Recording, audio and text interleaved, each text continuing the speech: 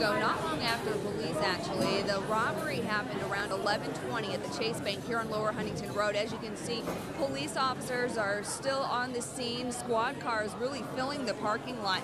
Here's what we know so far. A man went inside the bank and showed a note. That note was demanding money. He then took off out of the building going toward the east. He had an undisclosed amount of cash. Right now, police are interviewing witnesses. Canine units did take off after the suspect and were able track him across the street behind a McDonald's. But uh, right now, the suspect is not in custody.